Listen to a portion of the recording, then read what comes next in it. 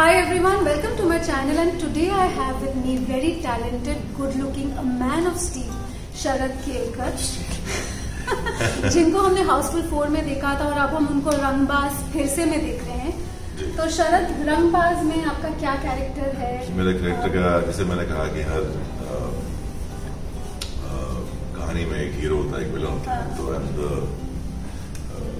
villain of the show it's called Raja Phogat हमारे धंधे में या तो पैर बढ़ाते हैं या काट देते हैं। बड़ा ही स्ट्रॉन्ग कैरेक्टर है, बड़ा ही ब्लैक है वो ग्रे भी नहीं है डार्क कैरेक्टर है वो। कैसे वो अमर पाल जो जिमी सर प्ले हैं एक अच्छे बड़े इंसान की ज़िंदगी बर्बाद करता है और कैसे फिर वो आदमी क्राइम की राह पर चल पड़ता है। और कैसे वही एक सीधा साधा आदमी आगे जाके क्राइम की दुनिया में आके इसी राजा फोर्ट के सामने खड़ा होकर उसे मार देता है, ये कहानी। तो प्रिपरेशन आपने की के के नाम पे देखिए क्या एक तो क्या एक इंटरेस्टिंग पार्ट है क्योंकि हर एक कैरेक्टर की जर्नी वो 25 साल के यूथ से लेकर 45 48 इयर्स तक की जर्नी है।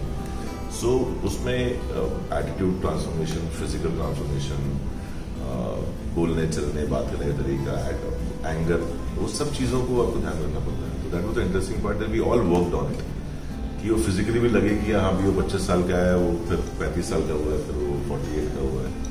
तो सबने उस पर काम किया। तो एक हाँ ट्रांजिशन है। और टाइम से दो ही महीने है। तो ऐसा नहीं हुआ छह महीने है कि हम मोटे हो जाए हाँ, मोटे हो जाए पतले हो जाए बाल बढ़ा ले बाल कर ले so we all did it that and sometimes we shot scene which was which belongs to 25 year और शाम को सीन शूट कर रहे हैं जो कि 45 है। तो वो भी एक करने में मज़ा आया। चैलेंज से पर मज़ा होता है। तो इट्स डायलेक्ट वो एक राजस्थानी भाषा है।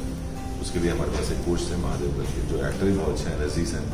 He was there throughout the shooting and हर एक जगह आपको एक्सप्लेन करते थे ये कैसे बोलना है लहजा क्या है डिक्शन कैसा है डायलेक्ट कैसा है।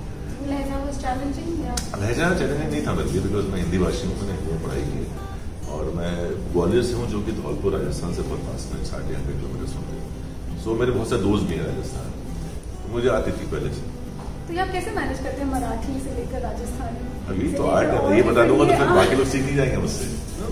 कॉन्शियस है थोड़ा सा ध्यान देंगे ना सीख सकते हैं तमिल भी करता हूँ तेलुगु भी करता हूँ। इट्स अबाउट थोड़ा ध्यान देने की ज़रूरत है थोड़ा सा मॉडल करने की ज़रूरत है वो थोड़ी मेहनत लगती है थोड़ी सी बट एक बार पकड़ लिया आपने फिर आपको आसान लेकिन हो है हाँ मुझे अलग अलग भाषाएँ हैं हाँ जैसे मैं बंगाली भी कभी ट्राई करता हूँ मैं मैं पाना पूछते पारी ना बोलते पारी बोल देता हूँ तो। तो कहते ऐसे बंगाली आती है। गुजराती भी मेरे बहुत दोस्त हैं उनसे बोलते हैं कि मेरी बेइज्जती करते हैं क्योंकि बहुत है हम गुजराती। बट हाँ मराठी है मेरी मदर टंग है महाराष्ट्र तो मुझे मज़ा आता है।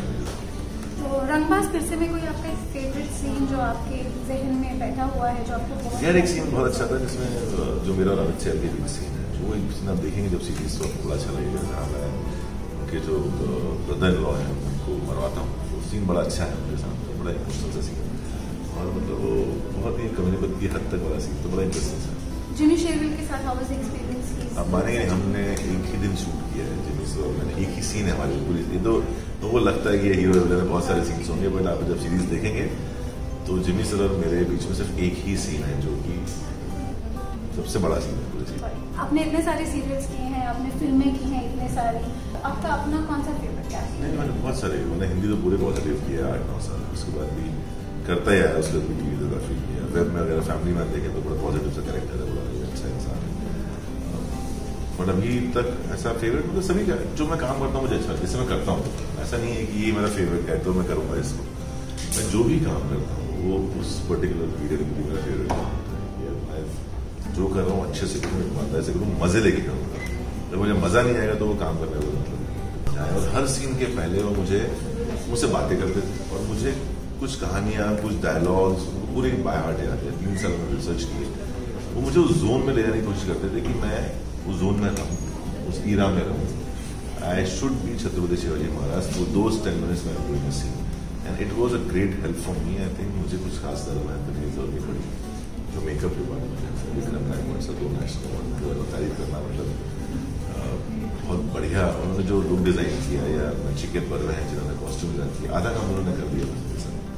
बाकी राउत सर ने कर दिया बाकी पाँच परसेंट में काम नहीं किया तो की देखिए रंगबाज एक बहुत ही इंटरेस्टिंग सी कहानी है। एक्शन से भरपूर है इमोशन से भरपूर है और बहुत बढ़िया कलाकार जो आपको पसंद है वो आपको सब इस शो के अंदर मिलेंगे। तो आप ज़रूर देखिएगा रंगबाज। जी फाइव पे है सब्सक्राइब नहीं किया तो कर लीजिए।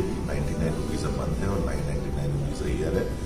दो कॉफ़ी आती है नौ सौ निन्यानवे रुपये आज की रेट में तो सब्सक्रिप्शन साल भर के लिए। रंगबाज ही नहीं है बहुत कुछ और भी कंटेंट बहुत सारा कंटेंट है जी फाइव में वो सब देख सकते हैं। तो अभी सब्सक्राइब कीजिए जी फाइव और देखिए रंगबाज पे thank you thank you so much